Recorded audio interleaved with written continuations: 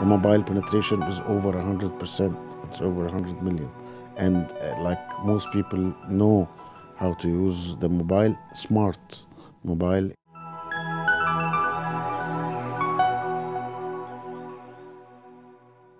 Hello and welcome back to the Bankers Masterclass series on Egypt's reform agenda in association with Arab African International Bank. I'm James King, the Bankers Africa and Middle East editor, and with me is Hassan Abdalla, Chief Executive of Arab African International Bank.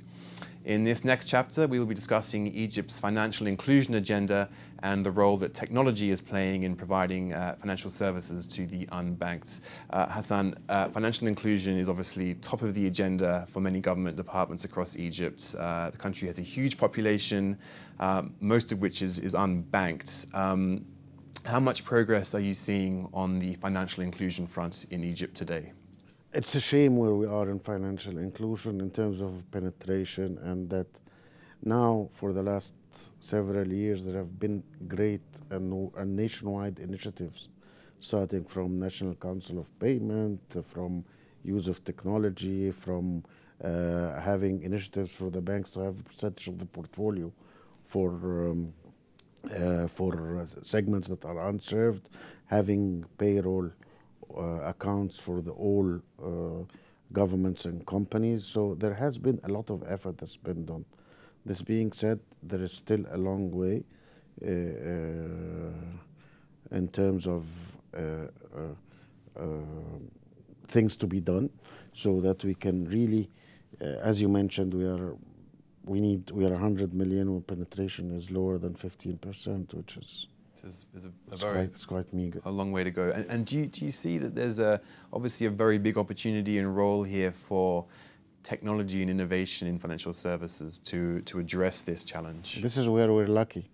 Technology can take us uh, leaps, especially if you would know the fact that uh, the mobile penetration is over 100%. It's over 100 million. And uh, like most people know how to use the mobile, smart mobile, internet. We have a, a big in internet penetration as well from the population. And we started introducing one of things, mobile payments, uh, uh, uh, several gateways. So it's starting to, you know, even the, the, the uh, you know, it's all about culture. So the culture is changing. Even now, the uh, uh, uh, people uh, from the low income segments are using cards and smart cards to buy the stuff. Right. So right. it's quite interesting. There's a cultural shift there. there and do you think that from the regulatory side of things, there needs to be maybe a bit of catch up to to meet some of these uh, technological changes, sort of, and, and to improve the the, the way that uh, financial institutions can engage with technology and the unbanked? Yeah, or, already uh, uh, we have uh, uh, the mobile payment regulations out. Most of the regulations are out. Plus, I believe that the regulator is also part of global several global initiatives, and they are key and they are doing a big role and they are moving as fast as as possible. Mm -hmm.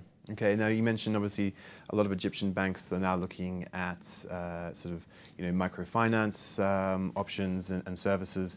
Um, AAIB is no exception. You've just launched uh, uh, your own microfinance unit, Sanda. Um, what role will that play in the Egyptian market? Uh, we had discussion uh, as, as staff in Arab African about uh, serving the microfinance industry, and we decided that it is much more uh, uh, prudent to do it as an entity of its own.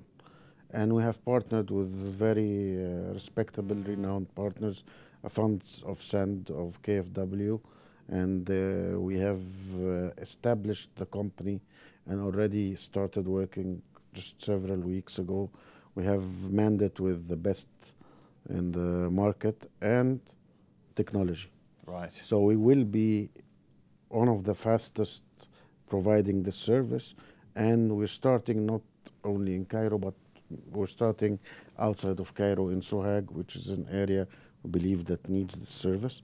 And I believe that using technology, we can really move very fast and grow very fast in this country. I see. And as you were saying, that ties into what you were saying before about really serving populations outside of the main urban areas and reaching out to those people Exactly. to provide them with services. Hassan, thank you very much. Thank, you, James. Pleasure as always.